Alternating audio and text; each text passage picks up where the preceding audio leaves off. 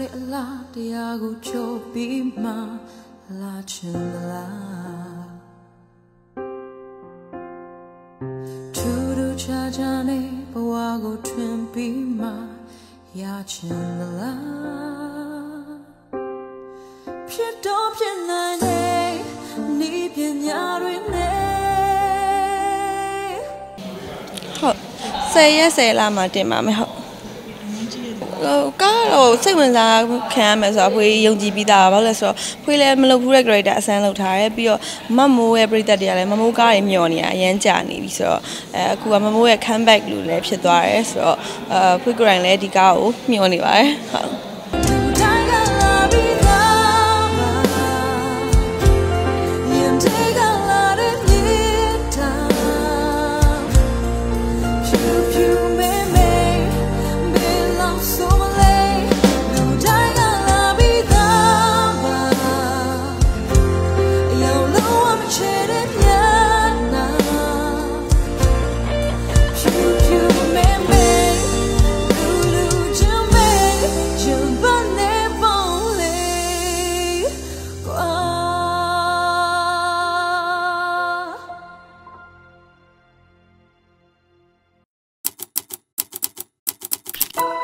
Thank you.